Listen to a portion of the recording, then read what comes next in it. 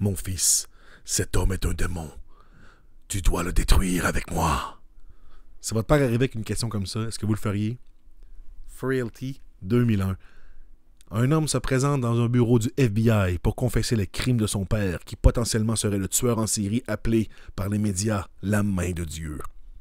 Un beau petit thriller psychologique, euh, saveur surnaturelle un peu, avec une coupe de twist, euh, mettant en vedette euh, Feu Bill Paxton et Matthew McConaughey.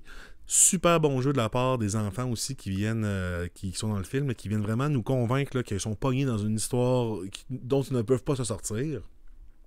Le film suit une structure à rebours. Donc, on commence la première scène du film et après ça, on va à rebours puis on remonte le cours de l'histoire pour se rendre jusqu'à la première scène du film. Euh, le film aborde principalement les thèmes de la foi, la santé mentale et puis euh, il y a une conclusion un peu faible mais quand même très satisfaisante.